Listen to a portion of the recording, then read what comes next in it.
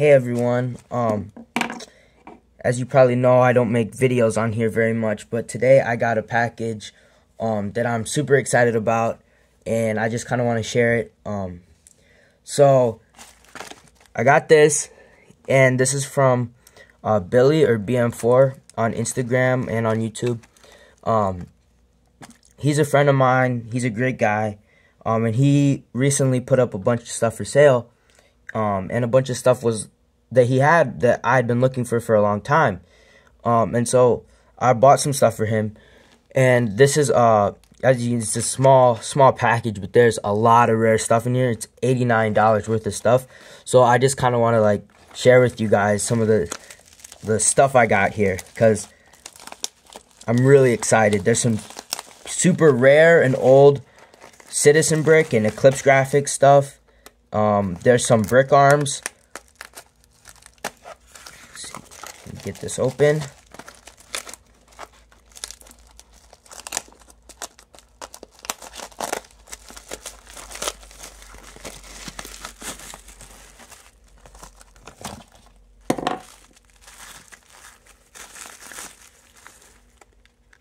Wow.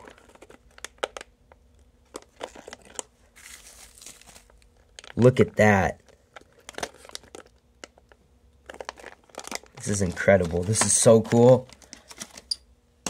Alright, so first off, I'll show these. These are BrickArms, M27 IAR undermolds. So they're for the overmolded version, but when you make the overmolded ones, you have multiple colors and multiple parts and so these sit in the mold and then you inject the other color plastic over here. And so oops so i really love these because they're great for um, modding um, like the barrels.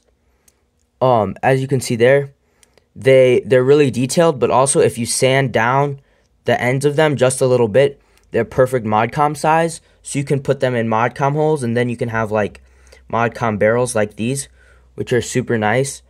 And then the magazines are great because you can like cut them and like use them for whatever, use them in vests, use them on guns. They're awesome. So I got some in black and I got some in gunmetal. He was really nice and gave me a really good deal on these. Really excited to use these for some mods. Those are super cool. Then next up are EG combat legs. These are some old Eclipsegrafx um, prints that they did that unfortunately they don't make anymore. But they're some of like the coolest designs. Um, they're just supposed to be like generic um, legs you can use on like any operator or modern military fig or anything. Um, they're really great. They have like knee pads, um, some pouches, some straps, a pocket, and then boots. And they came in like a bunch of different colors and I already have a sand green pair, but these go amazing on like almost anything. They're great for like fig combos and stuff. Um, and they're like UV printed, so they're like super durable. Um, it's they're just a great design. So I I get these whenever I have the chance. I'm always looking for these. Um, so now I have uh, four different colors. Super happy about that. Um, these are really cool. I especially love the dark green one. These are really sick yeah, so that that's that. Then next up, show the heads.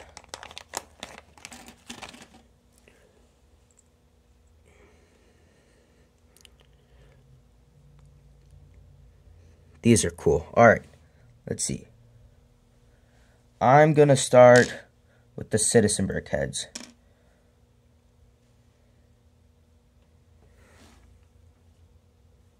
So at the top, you can see it's a old uh, Citizen Brick Combat Balaclava head, but it has it's a misprint on lavender, and it's got red goggles.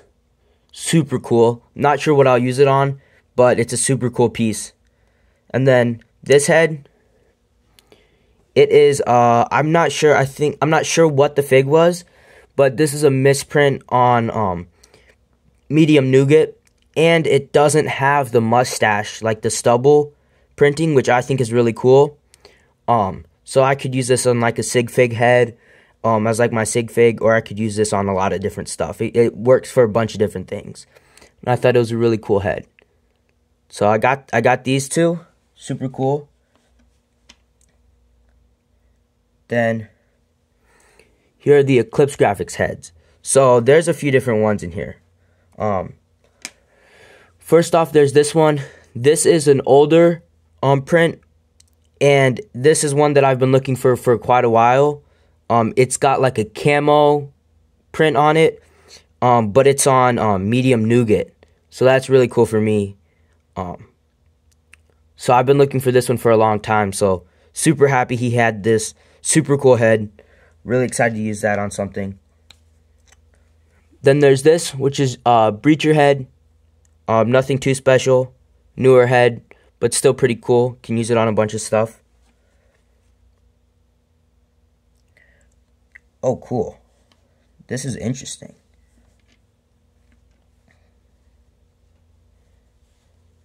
Sorry, give me a second.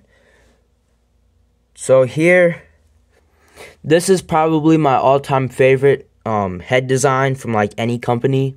These are old um, Eclipsegrafx tactical balaclavas. Um, and I collect these. I have them in a bunch of different colors. Or actually, not a bunch. I only have them in light gray, dark gray, and then some tan ones. These are super hard to find nowadays. Um, they're pretty rare. Um, I'm super lucky I could find these. I love the tans. They're super, super cool. And I don't know if you can see on camera, but there is one that has uh, like a blue lens and one that has like a gray or almost greenish lens. So that's super cool.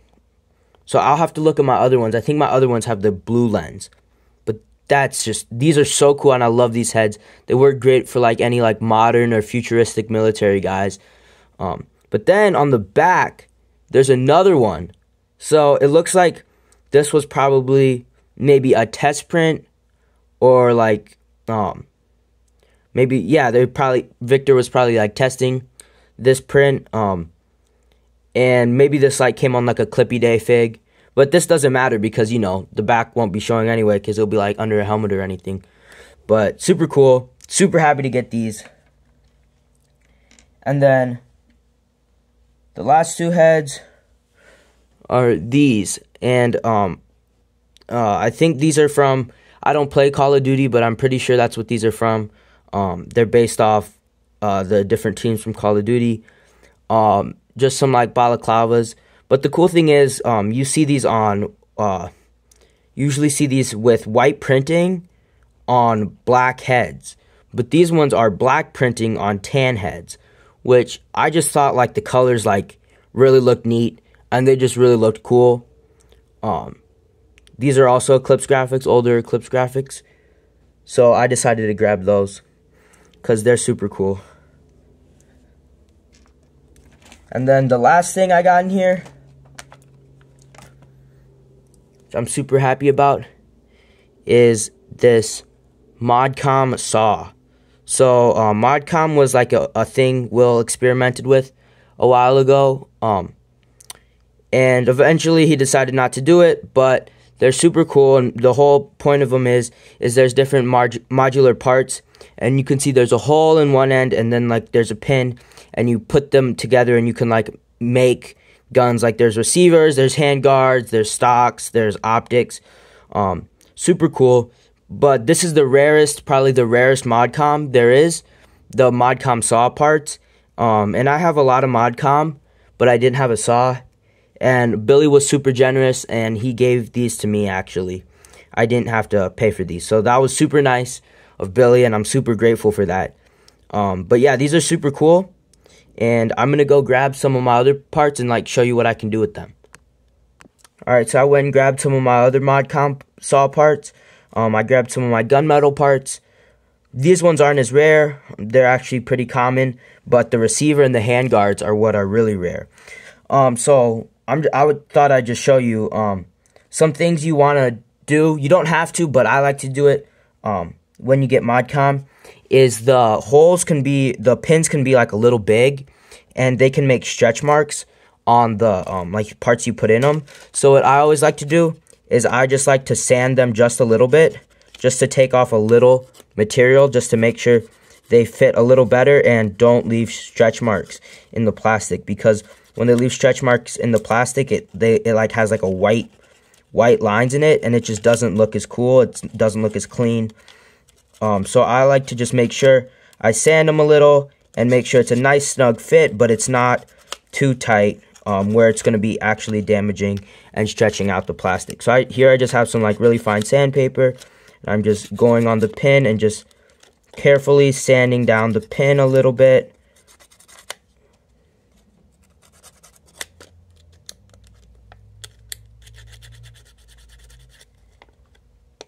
Now let's see if that was enough. I think I'm going to want to do a little more. I'm going to pause the video and I'm going to come back to this when I'm done. Alright, so I sanded down the pegs a little bit. Um, and so I'm going to show you what you can do with the ModCom. So you have the receiver. Um, and then, of course, the just the normal BrickArms box magazine that it comes with. Actually, I'm not going to put that in there because it seems a little tight. Maybe I'll sand this down. Um, I'll probably yeah, I'll probably sand that down later just so it fits a little better without potentially stressing the plastic. Um, but you have the receiver and the handguard, and you just put the handguard on the receiver like so. Then I have my barrel. Just put the barrel right there. Then the optic like that. And the stock.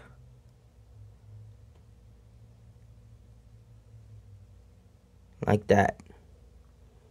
So see that's what you can do with the modcom it's pretty cool.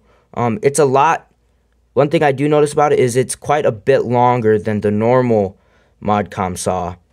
Or i'm sorry the normal saw.